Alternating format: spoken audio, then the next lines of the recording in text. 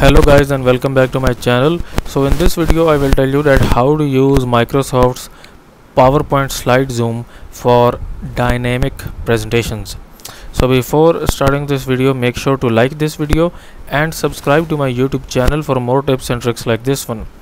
Okay so what's we're gonna have to do here basically we will select our main slide on which we want to apply the zoom effect okay? So what we'll uh, do here that these two slides will be displayed on our this slide here. And when we click on these two slides here so it will zoomed into these two slides okay? So what we'll do here we will select our main slide go to the insert and then zoom and then slide zoom. And then we will select these two slides. So slide number 4 and slide number 5 select.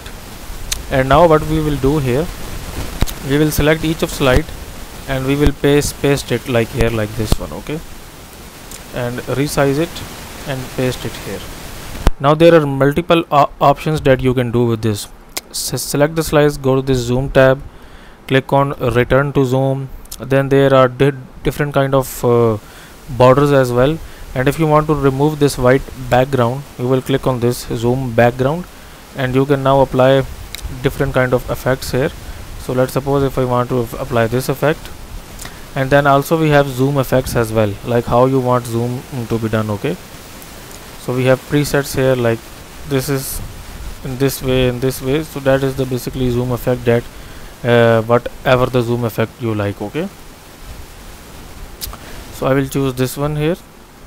And for this again return to zoom zoom background and we will keep it simple.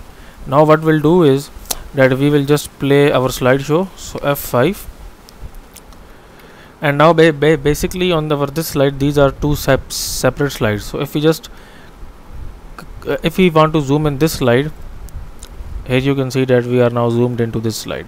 Again click on this zoom out click on this zoom in here and then again click out like this okay?